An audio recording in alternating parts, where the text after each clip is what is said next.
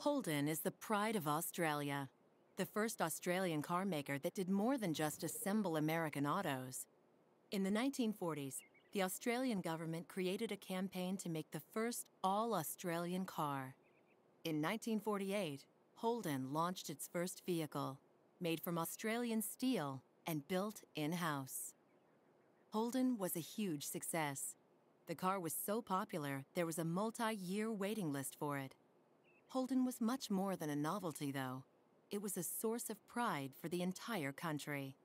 Holden was proof that Australia could do more than just import.